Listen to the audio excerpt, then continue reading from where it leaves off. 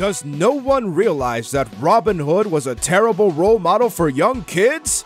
I mean, you are stealing from people. Illegal. And those people, usually, worked hard to get their wealth. It really demotivates people to succeed when they know they can get something someone else worked for.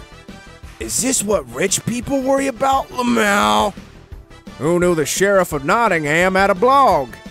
How does someone read Robin Hood and miss the part where it's set in feudal England? He stole from people who got their wealth by exploiting the poor.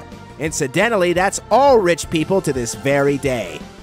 Tune in next week when they tell you the story of Ebenezer Scrooge, a benevolent job creator, harassed during his sleeping hours by the hellish socialist dead.